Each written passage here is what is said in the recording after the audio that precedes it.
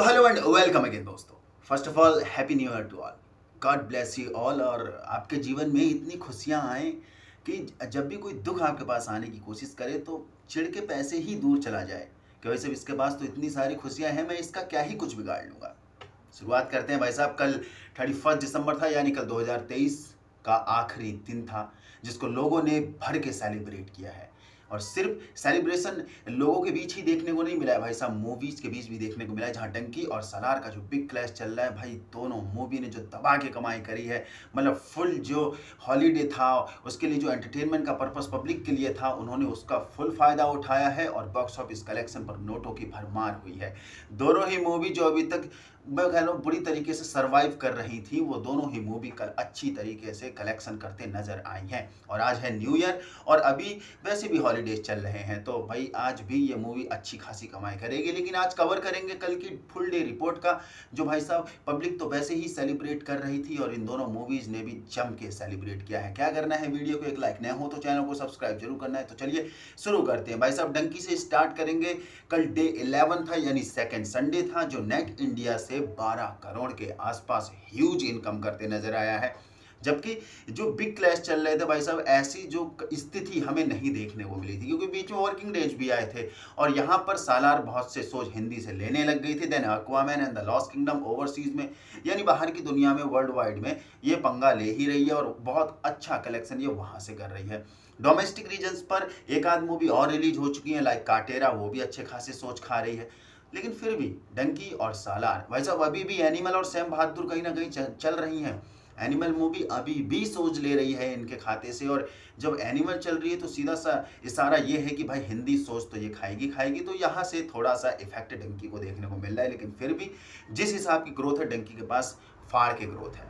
तो कल डंकी ने नेट इंडिया से, यानी कल डंकी का डे 11 था और सेकेंड संडे था, नेट इंडिया से 12 करोड़ का ह्यूज कलेक्शन कल एंड ऑफ़ द डे तक करते नज़र आइए, जो हाँ gross collection gross Indian collection 15 crore होता है ओवरसीज से लगभग में लगभग 9 करोड़ एंड पूरी दुनिया से ये मूवी वर्ल्ड वाइड कल एंड ऑफ़ द डे तक 24 करोड़ के आसपास ह्यूज कलेक्शन करते नज़र आई है।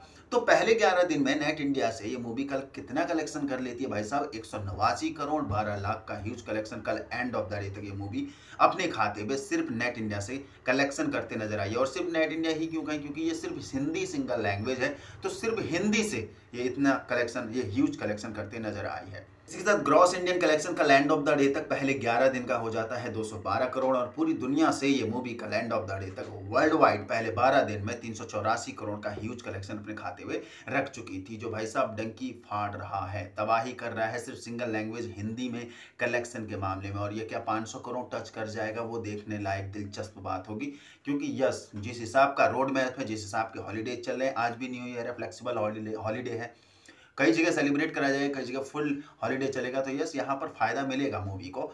तो मूवी इजीली 500 करोड़ तो टच कर ही जाएगी। भाई साहब, बात करते हैं कल सेकंड संडे ऑफ़ सालार यानी दसवां दिन था कल सालार का। सालार ने क्या तबाही मचाई है? भाई साहब, इसकी रिपोर्ट में अभी भी बहुत फ्लेक्सिबिलिटी देखने को मिल रही है। मेकर्स ने तो हाथ ही खड़े कर दिए हैं कि भाई साहब, हम अपना जो है मोमेंट शेयर नहीं करेंगे। लाइक जैसे मूवीज़ करते हैं डंकी देख लीजिए भाई साहब डंकी एक एक मोमेंट को शेयर कर रही है। वर्ल्ड वाइड कलेक्शन कितना कर चुके हैं नेट इंडिया से कलेक्शन कितना कर चुके हैं, वो एक्यूरेसी को टच कर रहे हैं। लेकिन सालार के पास बिल्कुल नहीं देखने को मिल रहा है। ऑफिशियली जो पहले छः दिन का दिखाया था, उसके बाद से सात, आठ, नौ, तीनों दिन का नहीं आया है। और अभी कल दसवां दिन गुजर जाएगा। तो आज उसकी ऑफिशियल रिपोर्ट ये लोग देते हैं, नहीं देते हैं, भाई वो देखने लायक होगा। लेकिन खैर नेट इंडिया से कल एंड ऑफ़ द डे तक साढ़े चौदह करोड़ ये मूवी कमाती नज़र आई है। ग्रॉस इंडियन कलेक्शन अठारह करोड़ एंड ओवरसीज से नौ करोड़ के आसपास, क्योंकि भाई साहब ओवरसीज में Aquaman and the Lost Kingdom फाड़ रहा है भाई, दोनों की फाड़ रहा है। सालार की ही नहीं डंकी की भी फाड़ रहा है, क्योंकि भाई ओवरसीज में भाई हॉलीवुड की मूवीज़ को बहुत अच्छा प्यार दिया जाता है, और खासकर सुपर हीरोज मूवीज़ को मार्वल एंड डीसी के क्रिएशन को। तो यहाँ पर भाई खतरे की घंटी इसके लिए है, और इसके लिए खतरे की घंटी अब डोमेस्टिक रीजन पर भी होने वाली है, क्योंकि साउथ बेल्ट में यहाँ पर 12 या 13 या 14 जनवरी के आसपास कैप्टन मिलर आ जानी है भाई साहब, धनुष की, सुपरस्टार धनुष जिसका साउथ में बहुत अच्छा दबदबा है।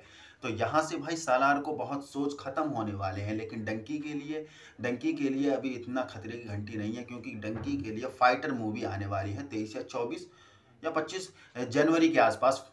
जो ऋतिक रोशन के स्टारर में बनाई जाएगी।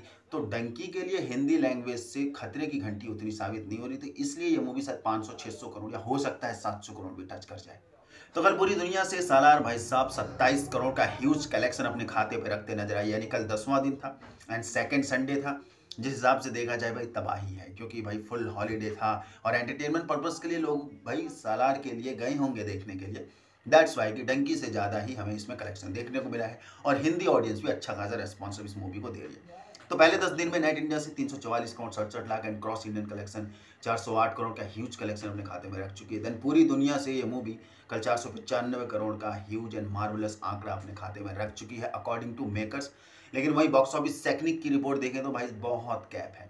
बहुत डिफरेंस है। चार पाँच सौ इकतीस करोड़ का huge collection worldwide collection box office technique बता रहे हैं, लेकिन ऑफिशियल आंकड़ा जो मेकर्स की तरफ़ से आ रहा है, वो सॉरी पाँच सौ पचानवे करोड़ के आसपास नज़र आ रहा है। और जब ये ऑफिशियल आएगा और भी मेकर्स की तरफ़ से तो शायद छः सौ करोड़ ये टच कर जाएगी।